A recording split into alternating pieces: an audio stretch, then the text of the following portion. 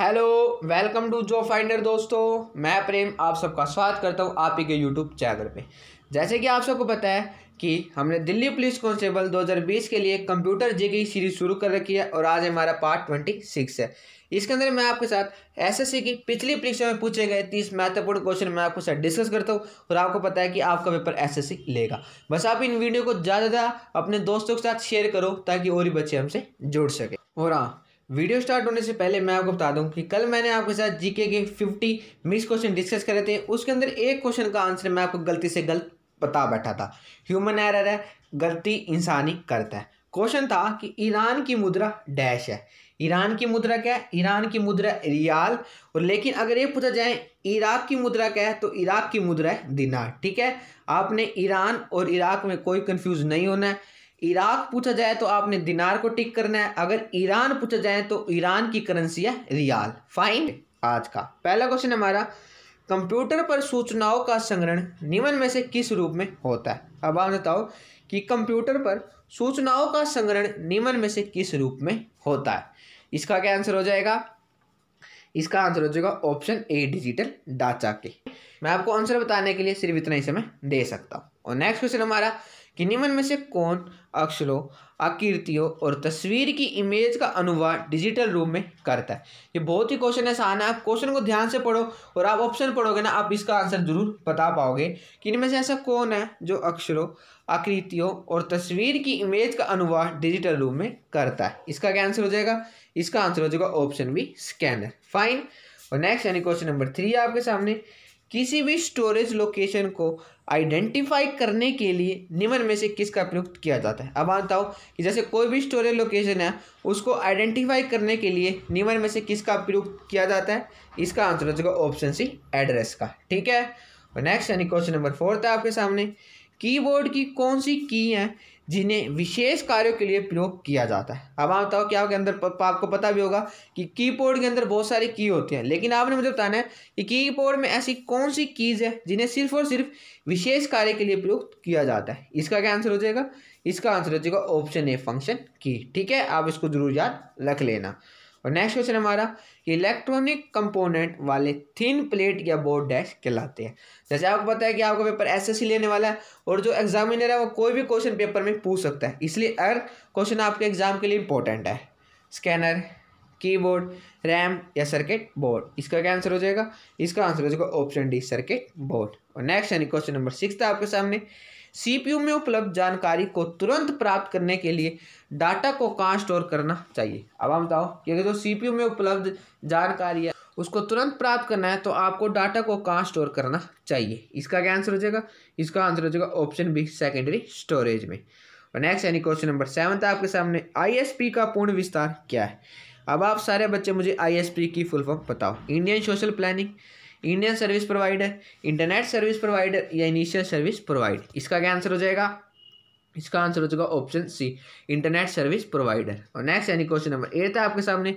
Removable media में निम्न में से कौन कौन शामिल है? अब हम बताओ कि रिमूवेबल मीडिया में निम्न में से कौन शामिल है? C D ROMs diskette DVDs या सभी? इसका क्या आंसर हो जाएगा? इसका आंसर हो जाएगा ऑप्शन डी सभी. यानी ये तीनों रिमूवल मीडिया में शामिल है.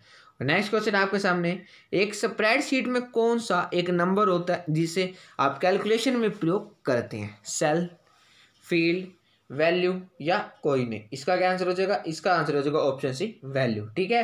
जैसे आपको पता होगा कि इसके अंदर मैं आपके साथ तीस क्वेश्चन क्विज की फॉर्म में फटाफट डिस्कस करता हूँ। और नेक्स्ट क्वेश्चन हमारा कि निम्न में से किस स्टोरेज मीडिया में रीड और राइट की क्षमताएँ हैं? फ्लैश मेमोरी कार्ड में हार्ड डिस्क ड्राइव में फ्लोपी डिस्क में या सभी। इसका क्या आंसर हो जाएगा? इसका आंसर हो जाएगा ऑप्शन डी सभी में, ठीक है? इन तीनों स्टोरेज मीडिया में रीड और राइट की क्षमताएँ। और नेक्स्ट क्वेश्चन यानी क्वेश्चन नंबर इलेवन था आपके सामने, जो पैसे को ट्रैक करने के लिए और बजट बनाने के लिए कैलकुलेटर की तरह काम करता है डैश प्रोग्राम कहलाता है। अब एक्स कैलकुलेटर, स्प्रेडशीट या कोई नहीं। इसका क्या आंसर हो जाएगा? इसका आंसर हो जाएगा ऑप्शन सी स्प्रेड सीन और जैसे आपको पता होगा कि इसकी पीडीएफ मैं आपको हमारे टेलीग्राम ग्रुप में प्रोवाइड करता हूँ। जिसका लिंक मैं आपको डिस्क्रिप्शन बॉक्स में प्रोवाइड कर दूँगा, आप हमारे टेलीग्राम ग्रुप से ज़रूर जुड़ जाना। नेक्स्ट क्वेश्चन हमारा कंप्यूटर के बंद हो जाने पर निम्न में से कहाँ से कंटेंट्स निकल सकते हैं? इनपुट आउटपुट स्टोरेज या मेमोरी बच्चे सी और डी में कन्फ्यूज़ होंगे, लेकिन इसका आंसर हो जाएगा ऑप्शन डी मेमोरी जिन बच्चों ने भी ऑप्शन डी आंसर दिया उन सबका आंसर सही है। नेक्स्ट क्वेश्चन हमारा, निम्न में से कौन सा सॉफ्टवेयर मोशन पिक्चर क्लिपों को बदलने के लिए प्रयोग किया जाता है? Video editing painting computer design या कोई नहीं। इसका क्या आंसर हो जाएगा? इसका आंसर हो जाएगा option A video editing fine next question हमारा यदि आप वर्ड में वर्ल्ड के बजाय वर्ल्ड ये देखो, इसके अंदर आपने स्पेलिंग का याद रखना है। अगर आप इसकी जगह इसको टाइप करोगे तो निम्न में से कौन नीचे सही करेगा? ये क्वेश्चन को दूसरी फॉर्म में मैंने आपके साथ पिछली वीडियो में डिस्कस कर रखा है। इसलिए मैं आपको बार बार कहते रहता हूँ, हर क्लास इंटरलिंक है, आपने हर क्लास को देखना है और आपने इन वीडियो को अपने दोस्तों के साथ ज़रूर शेयर करना है। Auto edit auto option auto correct या ऑटो की इसका क्या आंसर हो जाएगा? इसका आंसर हो जाएगा ऑप्शन सी ऑटो करेक्ट ठीक है? नेक्स्ट यानी क्वेश्चन नंबर फिफ्टीन था आपके सामने। निम्न में से कौन सी प्रक्रिया डिस्क को ट्रैकों और सेक्टरों में बांटती है? फॉर्मेटिंग एडिटिंग क्रैशिंग या लाइटिंग इसका क्या आंसर हो जाएगा? इसका आंसर हो जाएगा option A formatting fine next यानी क्वेश्चन नंबर सिक्सटीन था आपके सामने। एलआईसी की फुल फॉर्म क्या है? Large scale internet low scale integration large scale integration या लाइट स्केल इंटीग्रेशन इसका क्या आंसर हो जाएगा? इसका आंसर हो जाएगा option C large scale integration ठीक है? और नेक्स्ट क्वेश्चन है आपके सामने दोस्तों। निम्न में से किसी फर्म के सभी ट्रांजेक्शनों को एक ही बार में ग्रुपिंग और प्रोसेसिंग करना डैश कहलाता है। Batch processing real time system online system या कोई नहीं। इसका क्या आंसर हो जाएगा? इसका आंसर हो जाएगा ऑप्शन ए फाइन और नेक्स्ट क्वेश्चन आपके सामने दोस्तों, आप फटाफट क्वेश्चन को पढ़ो और मुझे इसका आंसर दो कि ईमेल का प्रयोग करने के लिए क्या होना आवश्यक है? मॉडम का इंटरनेट का अकाउंट का, ये से क्या इनमें से कोई नहीं? इसका क्या आंसर हो जाएगा? इसका आंसर हो जाएगा ऑप्शन सी सबसे पहले ईमेल का प्रयोग करने के लिए सबसे पहले आवश्यक है अकाउंट फाइन नेक्स्ट यानी क्वेश्चन नंबर नाइनटीन था आपके सामने। एक्सपेंशन कार्ड डैश में इंसर्ट किए जाते हैं। स्लोट में पेरीफेलर डिवाइस में कंप्यूटर के पीछे या कहीं पे भी नहीं किया जाता। इसका क्या आंसर हो जाएगा? इसका आंसर हो जाएगा ऑप्शन है स्लॉट में। और नेक्स्ट यानी क्वेश्चन नंबर ट्वेंटी आपके सामने, कि वीडियो प्रोसेसरों कौन? इमेजेस को स्टोर व प्रोसेस करते हैं। वी जी ए मेमरी ये दोनों या वी टी आई इसका क्या आंसर हो जाएगा? इसका आंसर हो जाएगा ऑप्शन सी दोनों वी जी ए मेमरी ठीक है? और नेक्स्ट यानी क्वेश्चन नंबर ट्वेंटी वन है आपके सामने दोस्तों कि वर्ड में डॉक्यूमेंट के टेक्स्ट को दोनों तरफ़ पर अलाइन करने वाले जस्टिफिकेशन को क्या कहते हैं? अब देता हूँ कि वर्ड में जो डॉक्यूमेंट के टेक्स्ट होते हैं, उनके दोनों तरफ़ पर अलाइन करने वाले जस्टिफिकेशन को डैश कहते हैं। जस्टिफाई लेफ़्ट सेंटर या बोल्ड इसका क्या आंसर हो जाएगा? इसका आंसर हो जाएगा ऑप्शन है जस्टिफाई कहते हैं। ठीक है? जस्टिफिकेशन और जस्टिफाई इसका आंसर हो जाएगा। फाइन और नेक्स्ट यानी क्वेश्चन नंबर ट्वेंटी टू आपके सामने।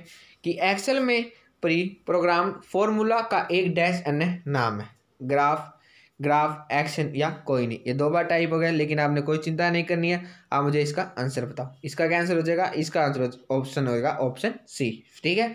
इसका क्या आंसर हो जाएगा? इसका आंसर हो जाएगा ऑप्शन सी फ़ंक्शन फाइन और नेक्स्ट यानी क्वेश्चन नंबर ट्वेंटी टू है आपके सामने। निम्न में से किस पर ओपन प्रिंट और सेव सभी बटन कहाँ पर स्थित है? फॉर्मेटिंग टूल बार में स्टैंडर्ड टूल बार में टाइटल बार में या कोई नहीं। इसका क्या आंसर हो जाएगा? इसका आंसर हो जाएगा option B standard tool bar में। इस टूल बार में ओपन प्रिंट और सेव बटन सभी स्थित होते हैं। फाइन नेक्स्ट क्वेश्चन हमारा कि माइक्रोसॉफ्ट एक्सेल डॉक्यूमेंट में प्रत्येक सेल को निम्न में से किस एड्रेस से जाना जाता है? सेल का कॉलम लेबल सेल का रो लेबल सेल का रोल कॉलम लेबल या कोई नहीं। जिस बच्चे ने भी एक बार भी माइक्रोसॉफ्ट एक्सेल डॉक्यूमेंट का यूज़ कर रखा होगा, वो मुझे इसका आंसर ज़रूर सही देगा। इसका क्या आंसर हो जाएगा? इसका आंसर हो जाएगा ऑप्शन सी फाइन नेक्स्ट यानी क्वेश्चन नंबर ट्वेंटी फाइव है आपके सामने। न्यूयॉर्क स्टॉक एक्सचेंज में सूचीबद्ध होने वाली भारत की पहली सॉफ्टवेयर कंपनी कौन सी है? अब आप बताओ कि जो न्यूयॉर्क स्टॉक एक्सचेंज है, उसके अंदर सूचीबद्ध होने वाली भारत की प्रथम, यानी पहली सॉफ्टवेयर कंपनी कौन सी है? इसका आंसर हो जाएगा option C, silver line technologies fine next question हमारा, कि निम्न में से कौन सा एक विषय सूची है जो डॉक्यूमेंट में अपने संबंधित रिफ्रेश पेज के साथ उपस्थित होता है? Table clipboard table of content या कोई नहीं। इसका क्या आंसर हो जाएगा? इसका आंसर हो जाएगा option C table of content fine और नेक्स्ट क्वेश्चन है आपके सामने। डॉक्यूमेंट को डिज़ाइन करने के लिए निम्न में से कौन सा माइक्रोसॉफ्ट विभिन्न प्रकार के विकल्प प्रदान करता है? Microsoft PowerPoint Microsoft Word Microsoft Access या माइक्रोसॉफ्ट पावर पॉइंट इसका क्या आंसर हो जाएगा? इसका आंसर हो जाएगा option B Microsoft Word fine और नेक्स्ट यानी क्वेश्चन नंबर ट्वेंटी एट आपके सामने कि टी का उपयोग करके निम्न में से क्या बन सकता है? Heading styles custom styles outline levels या सभी। टीओसी का प्रयोग करके निम्न में से क्या बन सकता है? इसका आंसर हो जाएगा ऑप्शन सी डी सभी। ठीक है? नेक्स्ट यानी क्वेश्चन नंबर ट्वेंटी नाइन है आपके सामने। कौन सा बटन क्या काम करता है? डैश विस्तृत वर्णन करता है। Super tool tip sub tool tip keyboard या कोई नहीं। इसका क्या आंसर हो जाएगा? इसका आंसर हो जाएगा option A super tool tip और नेक्स्ट यानी लास्ट क्वेश्चन आपके सामने। एम एस पावर पॉइंट में शिफ्ट प्लस लाइन निम्न में से किसके लिए उपयोग किया जाता है? ग्रिड दिखाने के लिए ग्रिड छिपाने के लिए, या ग्रिड दिखाने और छिपाने के लिए, या कोई नहीं? इसका क्या आंसर हो जाएगा? इसका आंसर हो जाएगा ऑप्शन सी दोनों। फाइन आज की वीडियो में बस इतना ही। मुझे आशा है कि आपको वीडियो अच्छी लगी होगी। अगर आपको वीडियो अच्छी लगी है तो आप इस वीडियो को लाइक करो, ज़्यादा शेयर करो, ताकि और भी बच्चे हमसे जुड़ सके। और हम बहुत जल्दी अपनी नेक्स्ट वीडियो मिलेंगे। जय हिंद, जय Bharat. Thank you and have a nice day